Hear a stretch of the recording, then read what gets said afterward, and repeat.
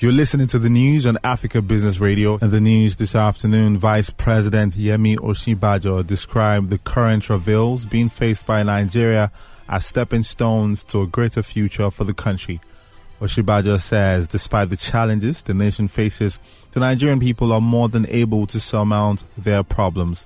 The Vice President urged them to stay focused on delivering quality leadership and service to the people while ensuring that their well-being remains a cardinal point for the state government.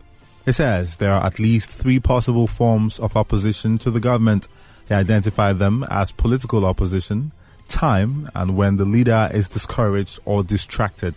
And that's the news at this time on Africa Business Radio. You can continue to listen live online at www.africabusinessradio.com or via our mobile app. I'm Winston Ugo. Good afternoon.